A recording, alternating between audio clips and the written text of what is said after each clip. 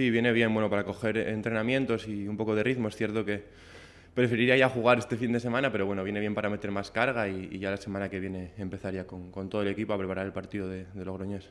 Nada, Borja, bueno, ya, ya le he visto, un chico fantástico, ya ha estado aquí, conoce el club y, la ciudad y bueno, competencia es buena, bien sea para mí directamente o para cualquier otro jugador del equipo y creo que nos va a ayudar mucho en, este final de temporada. Bueno, prefiero poner la, nota al final, pero bueno, creo que se han hecho cosas bien, otras no, no tan bien y a seguir trabajando para que la segunda vuelta sea, sea por lo menos igual y, y si no mejor.